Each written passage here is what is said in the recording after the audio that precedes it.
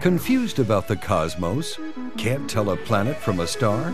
Then give us just five minutes and we'll show you what they are.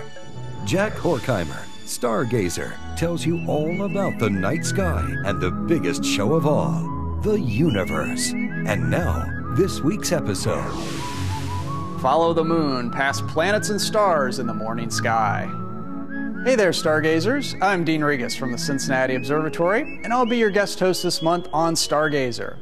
Next week, the waning crescent moon will lead you down a trail past several bright stars and three planets just before dawn. Let me show you. Okay, we've got our skies set up for an hour before sunrise on Tuesday, December 28th, facing southeast. Almost halfway up the sky, you'll have no trouble spotting a last quarter moon. About 13 degrees down to its left, you'll see the bright blue star Spica in the constellation Virgo the Virgin. About 10 degrees to the moon's left, you'll find the ringed planet Saturn, which is now showing us more of its ring system after presenting them nearly edge on to us last fall. Saturn's rings will continue to open for the next several years. If you are lucky enough to get a new telescope for Christmas, here's a good chance to put it to use. Make sketches, or if you can, take pictures every month of what Saturn looks like in your telescope. Keep them all together and watch Saturn change. You'll quickly notice that Saturn will not stay in the same place in the morning sky. The next morning, Wednesday, December 29th, same time, same direction, the moon will have moved to about 4 degrees below Spica. The next morning, Thursday, December 30th, an even skinnier moon will be just to the right of a pair of stars with funny sounding names Zubenelgenubi and Zubeneschamali. In a line to the left of the moon, you'll see two stars in Libra that have claws. But isn't Libra a set of scales? What's up with this claw bit? Well, way, way, way back, the Greeks used these two stars to mark the ends of the claws of Scorpius before there even was a Libra. The Romans inserted a set of scales here and rearranged the stars of Scorpius to make room. There's nothing sacred or permanent about constellation patterns.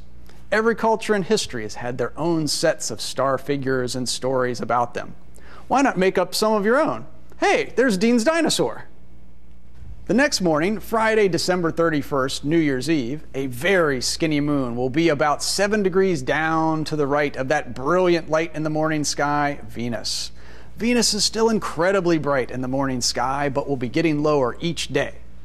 The next morning, New Year's Day, if you're still up after ringing in 2011, a super skinny 27 day old moon will be just three and a half degrees above the giant red heart star of Scorpius and Antares. The contrast between these two is nothing short of amazing. The moon is a small 2,000 mile wide rocky body reflecting the light of our sun. It is by far the brightest thing you'll see in the sky, but only because it's so close, only 236,000 miles away. Its light takes one and one quarter seconds to get here, while the light from Antares takes about 550 years to reach us. Antares is a red supergiant star. Some educated estimates put its width at over 700 times the diameter of our Sun. Although it's cooler than our sun, Antares is at least 10,000 times brighter, and perhaps much more. Another reason to take note of Antares is that it's a very massive and potentially unstable star. It is expected that Antares will explode as a supernova some day or night. It may have already done so, since the light of the supernova would take 550 years to reach us. And we just don't know about it yet, but probably not. The last day of our tour, January 2nd, has the moon even skinnier, just down and to the right of one of the most difficult planets to find, Mercury. Mercury will be almost at its highest, which is never very high, even at best. You'll have about a week to find pinkish Mercury before it will race back into the glare of the rising sun. Let's go over this one more time. December 28th, December 29th, December 30th, December 31st, January 1st, and finally, on January 2nd, follow the bouncing moon to Mercury and keep looking up.